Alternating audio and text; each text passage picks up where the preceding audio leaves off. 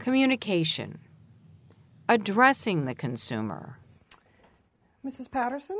From day one, you will need to establish certain boundaries and guidelines with the person you work with. The most important being what does the consumer wish to be called?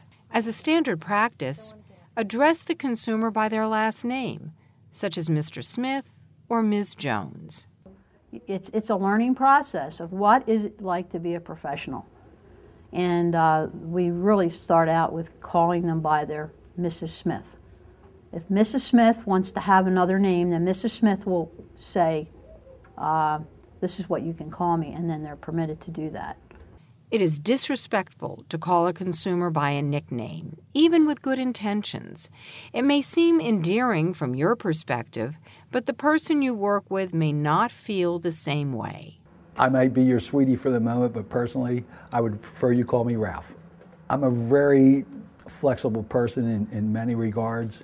Uh, however, I, I, will not tolerate condescending uh, dialogue or behavior.